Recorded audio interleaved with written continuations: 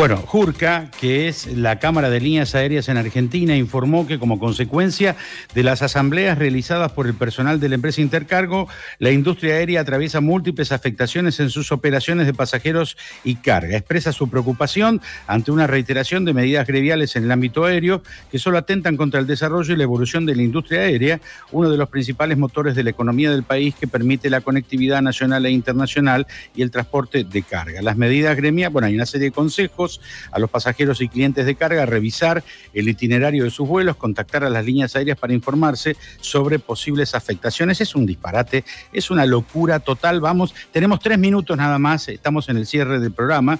Hablamos con Felipe Baravalle, que es el director ejecutivo de Jurca, la Cámara de Compañías Aéreas en Argentina. Eh, en, en instantes el paro termina, a las 12 del mediodía. Me gustaría saber, nos gustaría a todos, Fernando, bueno, una reflexión al respecto de parte de ustedes. Buen día, ¿cómo estás? Lo tufa Alberto aquí en Radio con vos. ¿Qué tal Alberto? ¿Cómo estás? Eh, encantado y muchas gracias por el contacto. Igualmente. A ver, creo como bueno el comunicado es bastante claro. Eh, la preocupación del lado de la Cámara es el desarrollo normal de las operaciones. Eh, entendemos totalmente la situación incómoda de los pasajeros, la desesperación de algunos que tienen que llegar por cuestiones mucho más eh, inclusive de salud eh, compromisos laborales en algunos casos. Eh, desde la Cámara, obviamente, dejar en claro que el, negocio de las líneas aéreas es transportar personas, no dejarlas en eh, con una situación como esta, que es ajena a las líneas aéreas.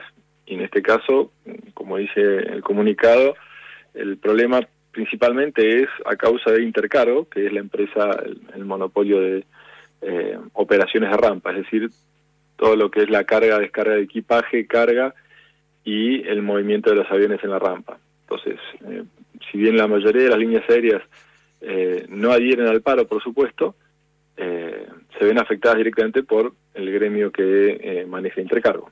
¿Y qué se puede hacer al respecto para evitar esto?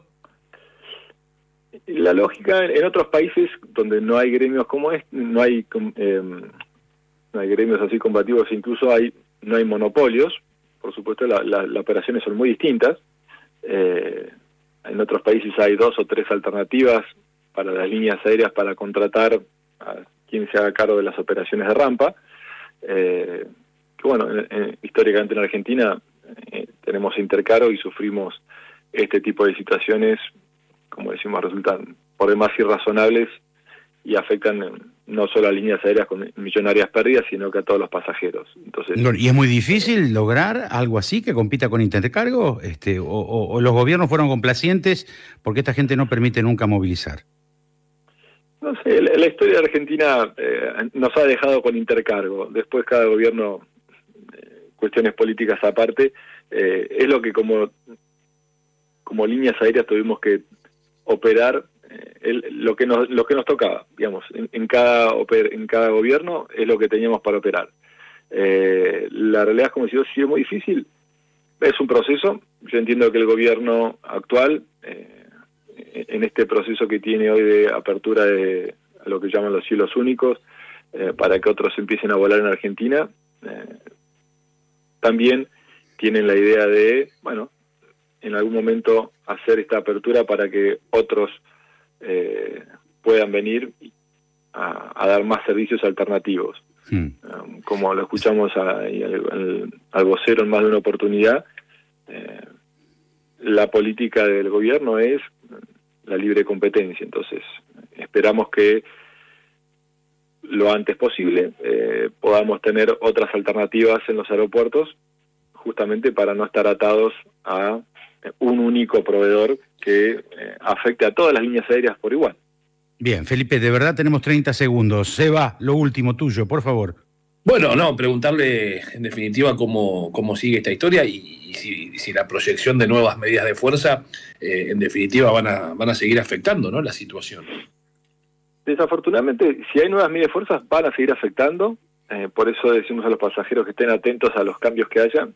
Del lado de las líneas aéreas, cuando se hace una asamblea a las 12, en muchos casos las, líneas aéreas adelantan los vuelos a las 11 o a las 10, pero hemos encontrado situaciones donde el mismo gremio lo que hace es una hora antes o media hora antes del horario que ellos dijeron que iban a hacer la asamblea, cortan las operaciones o retiran el personal.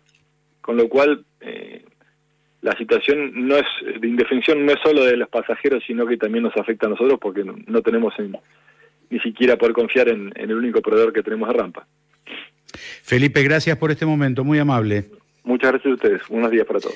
Felipe Baravalle, director ejecutivo de la Cámara Argentina de Compañías Aéreas. El paro se levanta.